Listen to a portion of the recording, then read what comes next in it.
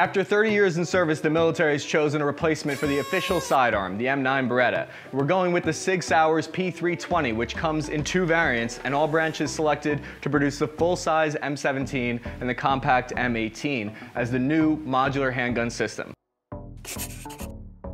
Keyword here is modular, because that's why the military has chosen this expensive change that some might think is a lateral move, because we're going from a 9mm to another 9mm essentially. So what's the added value here? The new modular pistol can be modified to fit the hands of various size soldiers, and it can be modified to fire the .357 SIG, which is a faster flying round at 1,350 feet per second full metal jacket. These rounds have some advantages and disadvantages compared to the regular 9mm. For instance, has the hydrostatic shock effect, which is a controversial theory that some ammunition with different muzzle velocities and different weights of the bullet can inflict a greater tissue or wounding damage.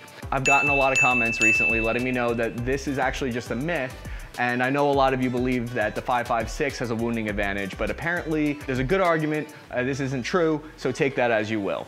In any event, if this all sounds more confusing and less streamlined than how the military has been in the past, then you're absolutely right. It appears the new military is still in college and is completely open to experimenting. The reason for this change is the ability for the operator to be able to slap things onto the pistol more efficiently, like suppressors, special subsonic ammunition, and it's easier to add an optic to the new SIG weapon than it is to put on the M9, which you could only run with iron sights.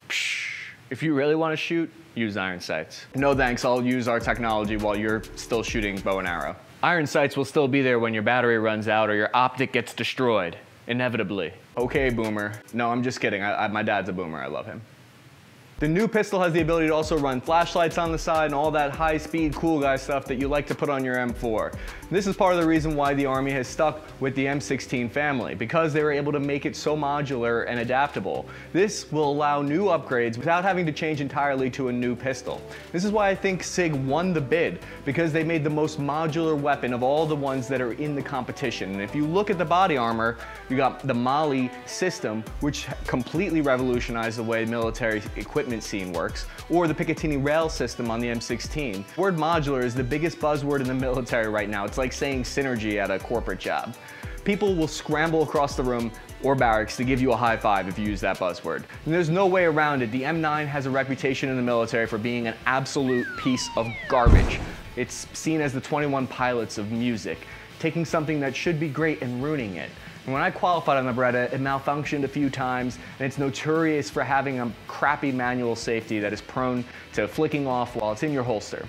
The whole frame of the Beretta is made of a metal alloy, which has disadvantages next to the new polymer frame, which is cheaper to manufacture for the SIG pistol. The SIG P320 is striker fired instead of hammer fired, which eliminates the hammer on the pistol. This is a technology that became prevalent only after the M9 Beretta was originally manufactured in the 80s. However, this does potentially make it less safe to operate outside of skilled hands because you're not able to decock the hammer. Every unit, including mine, treated the handgun training as a complete afterthought, and I can understand dropping the bayonet training, but shooting fundamentals for a pistol should be somewhere on the list of priorities for an infantry unit.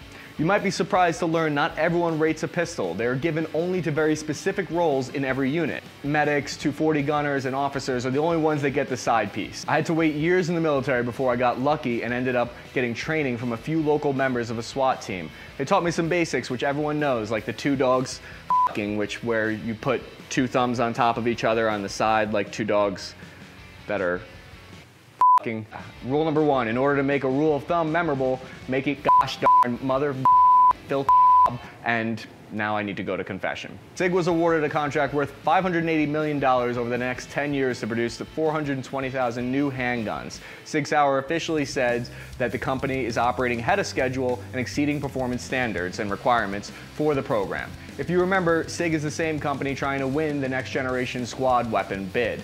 I know I'm going to get in the comments saying that they're never actually going to replace the M16, but I present the M9 being replaced as an exhibit that the M16 might be next. Back on topic, both versions of the handgun are based on SIG's P320 handgun, and they feature the Coyote Tan PVD coated stainless steel sides as well as a black manual safety levers. The 9mm pistol is equipped with front night sights and comes with 17 rounds and 21 round magazines, both of which are higher capacity than the M9 Beretta, which only had a 15 round magazine. Before we go any further, we have to talk about the elephant in the room, the 45 that was replaced by the M9 Beretta.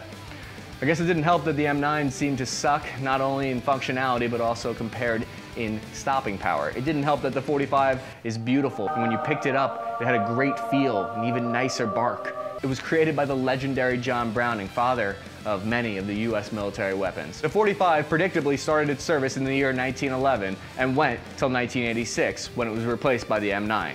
Incredible that a weapon created in 1911 before World War I even is still to this day considered to be the superior pistol. It's for this reason that Delta Force is said to frequently favor using the M1911. The M1911 is held in the halls of nostalgic past weapons that everyone sits around the campfire telling stories about. It's legendary among grunts who wish they could still carry it. Every once in a while you hear a private ask the following. The M9 doesn't have enough kick to it. Shouldn't I be allowed to bring my own pistol from home? I need the M1911, something with a little bit of oomph. No, you cannot do that. Just stop. You must be worried about the cost of ammo. Don't worry, I will bring my own 45 rounds. No, you're not getting it. You can't bring your own personal 45, okay? Don't, they don't care that you have your own ammunition. You just can't bring your own weapon into the service, all right? Unless you're like an 18 X-ray, try hard. Then why did I even join if I can't bring my own pistol? Free college. There's a debate between the 45 versus the 9mm, which, although it's been settled at the campfire levels, in reality there are some advantages to the Beretta. Having 15 rounds in the M9 versus 7 in the 1911 gives the operator additional chances to not continue missing their target as we know Joe tends to love to do. Since World War II, we now have NATO allies who we have to confer with on weapons compatibility, so we agreed on a 9mm round with them. There's a number of rumors about why we switched from the M1911 45 caliber. One of them, the most bizarre one, involves a political motivation involving Beretta getting the contract because of a backdoor handshake deal over renewing US bases in Italy. Another rumor suggests that the US was pushing for the 5.56 and 45 while the British wanted the 545 millimeter and the 9 millimeter. So they compromised. Decisions like this are notorious for involving politics and logistics, which isn't as sexy of a story as we're getting the best weapon. No, we need the weapon that will be best for the most amount of soldiers from the low speed to the moderate speeds because the high speeds are gonna get whatever weapon they want because they know how to wield it. Most lower skilled soldiers won't know what to do with that weapon. I'm not saying that I would know what to do with it. It's like the old saying, it's the operator, not the bullet, it's the gamer, not the Xbox 360, it's the cook, not the spaghetti, and I can say that because I'm a Long Island Italian who speaks no Italian and only leaves the country to go to Iraq. Not everyone is excited about the switch from the M9 to the new SIG pistol. There's some pragmatics and killjoys out there that want to bring up valid criticisms. What about how incompetent many supply sergeants are who won't maintain the weapons as well as they need to be? The M9, for all the hate it got, held up well to low levels of maintenance, and some foresee a problem with the compatibilities with holsters from each variant and different types of ammunition that it fires. There's also the issue of reliability. Just last year, a report made by the Pentagon, conducted by the Office of Director of Operations, Test and Evaluations, found that the SIG new pistol has been found to discharge accidentally, fires upon being dropped, and ejects live ammunition. A lot of these problems have to do with the strike fire mechanisms. I give this all a pass though. Anytime a new weapon comes on the scene, it needs to be broken in. When I played baseball, when you got a new catcher's mitt, it didn't work right away. You had to slather it in cream and toss it in the oven you had to test the thing out, wear it out. Sure, maybe you were second string, but you got to tell people you were on the team, and on Long Island, that was a big deal.